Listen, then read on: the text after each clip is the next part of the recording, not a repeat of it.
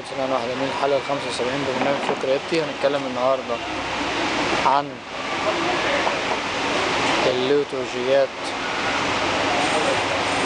المستخدمة في النظم الليتورجية الغربية.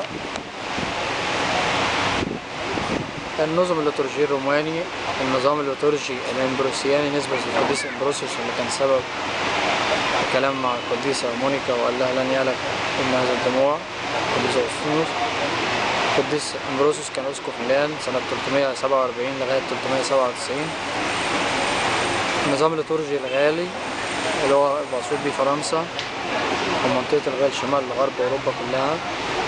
النظام الليتورجي المزرابي المقصود بيه أسبانيا. النظام الليتورجي الكلتي اللي هو جزر بريطانيا. النظام الليتورجي البوني أو القرطاجي في شمال أفريقيا. ونكمل في الحلقة الجاية.